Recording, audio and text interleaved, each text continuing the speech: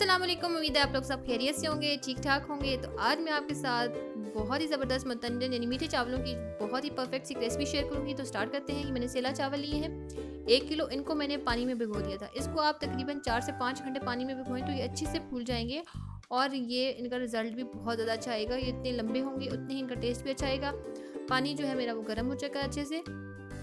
अब इसमें मैं जो चावल है, ये ऐड करूँगी और उसके बाद हम बाकी का जो प्रोसीजर है वो कंटिन्यू करेंगे। और जब भी आप मतंजन बनाएँ या ज़रदा बनाएँ तो हमेशा सेला चावलों से बनाया करें। उससे इसका जो टेस्ट है बहुत अच्छा आता है। ये इसमें मैंने चावल जो है पानी में डाल दिए हैं और उसको मिक्स कर दिया है। अब इसमें मैं ऐड करूँगी थोड़े से लौंग। ये मैंने आठ से दस लौंग लिए हैं। ये मैंने ऐड कर दिए हैं। अब ये मेरा अपना पर्सनल एक इंग्रेडिएंट है। ये मैं दो टेबल स्पून जो है इसमें सिरका डाल दूँगी। इससे चावल ज़रा खिल के बॉयल होते हैं उनके साइज़ भी बड़ा हो जाता है और ज़रा कलर भी जो है वो ज़रा ज़्यादा वाइट हो जाता है। तो इसलिए मैंने इसमें जो सिरका है वो ऐड किया है। अब इसको हम बॉयल होने देंगे। ये तकरीबन मैंने सात से आठ मिनट जो है चावलों को बॉयल किया है।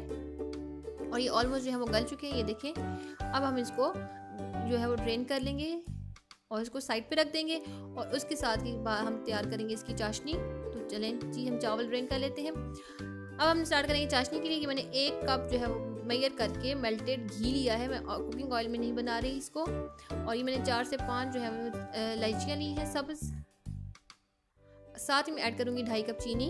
और याद रखें, अगर आपको ज़्यादा चावल बनाने हो तो जो चीनी की रेशो है वो हमेशा चावलों से हाफ़ होती है। और इसमें ऐड करेंगे हाफ़ कप पानी, ताकि जो चीनी की है वो इसमें लम्स ना बने इसके।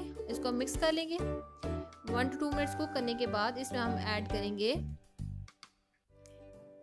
दूध। और दूध इसमें मैं ऐड करूँगी, तकरीबन जो है वो एक कप के करीब। ये देखिए, इसमें दूध ऐड कर दिया। बहुत ही ज़बरदस्त जर्दा बनता है आप, और ये सॉरी मतंजन बनता है। आप ज़रूर ट्राई कीजिएगा, बिल्कुल देख वाला टेस्ट आता है उससे भी कई ज़्यादा अच्छा।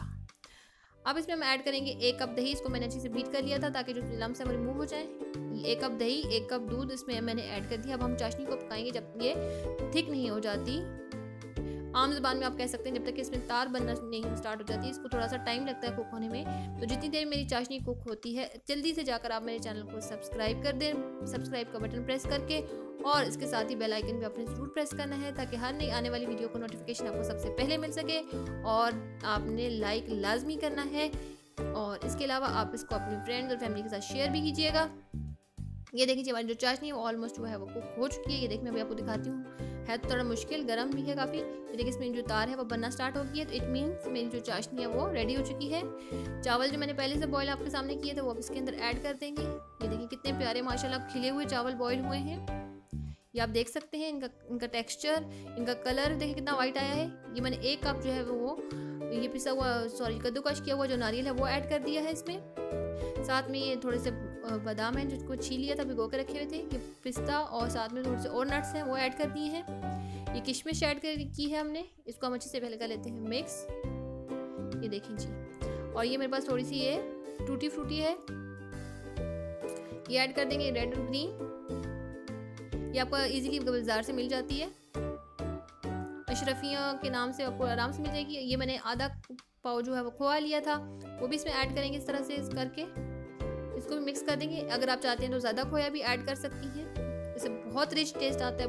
बहुत ज़्यादा डिलीशियस बनते हैं। मैं आपको बता नहीं सकती। आप एक दफ़ा ज़रूर ट्राई कीजिएगा। आपको पता चलेगा कि देख से भी कई गुना ज़्यादा जो अच्छा है वो मुतन घर में बन जाता है। और ये वन टी जो है, इसमें हमने केवड़ा एसेंस ऐड करना है। और ये अब हम सारी चीज़ें ऐड कर चुके हैं। अब लास्ट जो है वो कलर है, ये बिगनर्स के लिए है, बहुत आसान होता है, इससे कलर फैलता भी नहीं है। मैं थोड़ा थोड़ा जो ड्राई कलर है वो इस तरह से करके रेड ग्रीन और जो येलो है वो इस तरह से थोड़ा सा कोनों में डाल दूँगी, इस तरह से। और तीन, चार चमचम जो हमें हम ऊपर रख देंगे, बाकी जो हम सर्विंग के वक्त जो है वो डालेंगे। ये देखिए, इसको दम देंगे तकरीबन दस एक मिनट, दस मिनट के बाद जो है हमारा जो चावल है, ये देखिए, इसमें स्टीम भी अच्छे से बन गई है और जो चावल है वो अच्छे से हो चुके हैं। ये देखिए कितना प्यारा कलर आया है, देखिए। कलर्स फैले नहीं हैं, आप देख सकते हैं। हल्का हल्का कलर आया है, देखिए, सारे कलर्स इक्वल हैं, मैंने इसको तरीके से स्प्रिंकल किया था। अब ये देखिए जी, बहुत ही ज़बरदस्त हमारा मतंजन, देगी मतंजन तैयार है, जो आप शादियों में इंजॉय करते हैं। आप आप घर में इंजॉय कीजिएगा अपनी फैमिली के साथ और ईद पे ज़रूर ट्राई कीजिएगा मस्ट ट्राई रेसिपी है।